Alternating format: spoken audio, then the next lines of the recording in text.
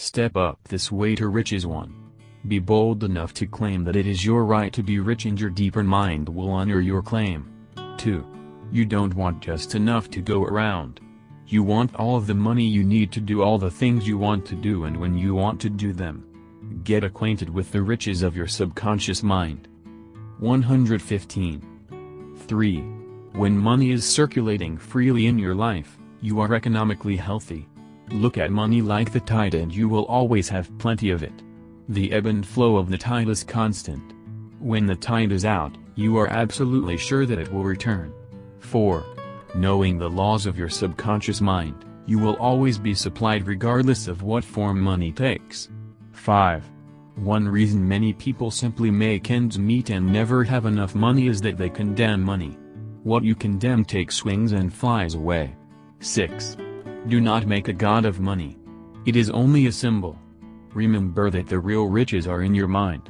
You are here to lead a balanced life, this includes acquiring all the money you need. 7. Don't make money your sole aim. Claim wealth, happiness, peace, true expression, and love, and personally radiate love and goodwill to all. Then your subconscious mind will give you compound interest in all these fields of expression. 8.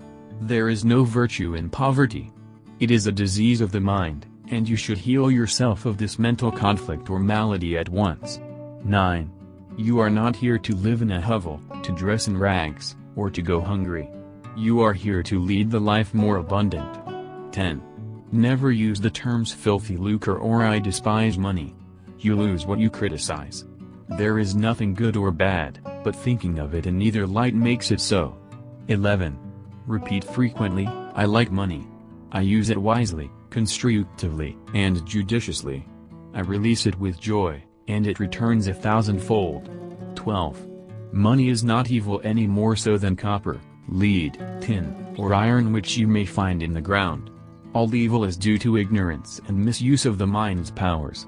13. To picture the end result in your mind causes your subconscious to respond and fulfill your mental picture. 116. 14. Stop trying to get something for nothing. There is no such thing as a free lunch.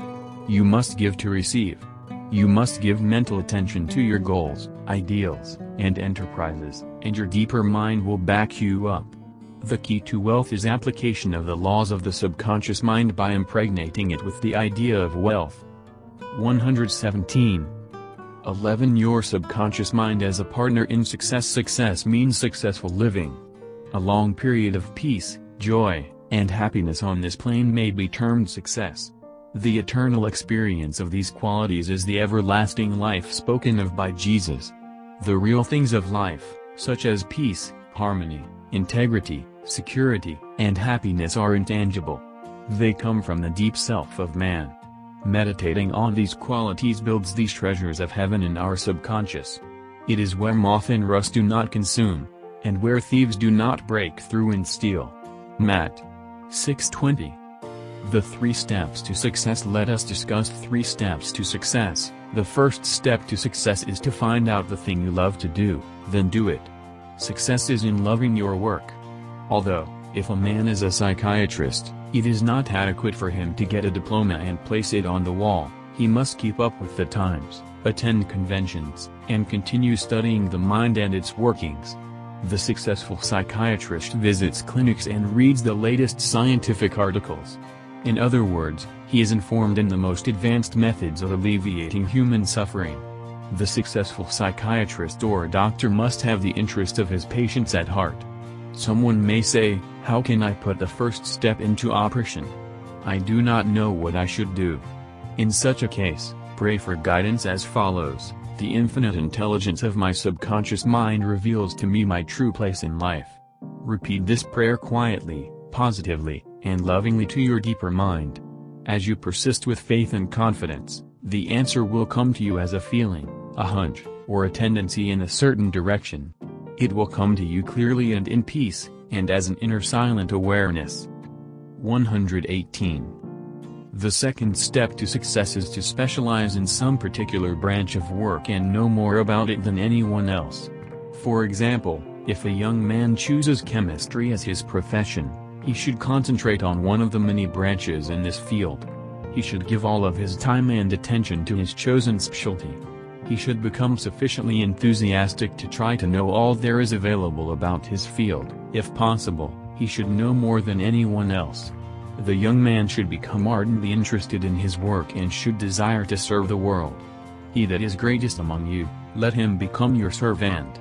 There is a great contrast in this attitude of mind in comparison to that of the man who only wants to make a living or just get by. Getting by is not true success. Man's motive must be greater, nobler, and more altruistic. He must serve others, thereby casting his bread upon the waters. The third step is the most important one. You must be sure that the thing you want to do does not redound to your success only. Your desire must not be selfish, it must benefit humanity. The path of a complete circuit must be formed. In other words, your idea must go forth with the purpose of blessing or serving the world. It will then come back to you pressed down, shaken together, and running over. If it is to benefit yourself exclusively, the circle or complete circuit is not formed, and you may experience a short circuit in your life which may consist of limitation or sickness.